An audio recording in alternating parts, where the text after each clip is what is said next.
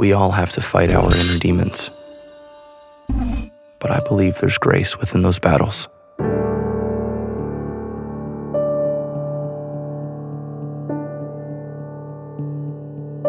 When I was younger, I was a troublemaker. I got into more fights than I can even remember. I didn't have direction back then, so I just drifted. Art changed me. My dad taught me how to draw. He inspired me to create, and when I gave myself up to it, something shifted inside me. Whether on paper or a human body, I knew creating art would take me out of my rut. It wasn't an easy ride, though. I had to put so much energy into my work, pushing myself further every day and testing my limits. It wasn't without sacrifices. My mentor was there to encourage me. I will always be grateful for the support through the hard times.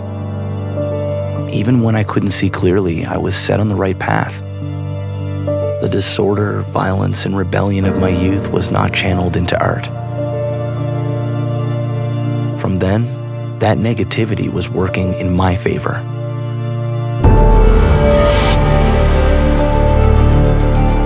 There are still distractions and times where I can feel myself unravel. But I try and focus on myself and not let others put me down. Keep me from what sustains me.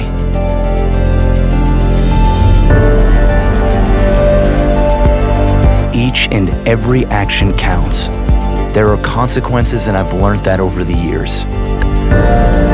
Now, I just want to get people excited about my designs, to build intimacy and trust with my supporters and stay true to my style.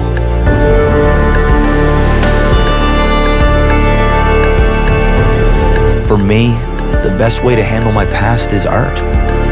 I channel my inner demons and dark moments through my visualizations. All the fights and all the trouble, something I got rid of.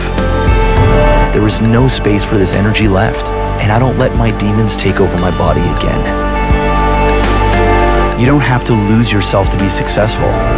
You don't have to blank out your past and become a new person. Take the pain and make it work to your advantage.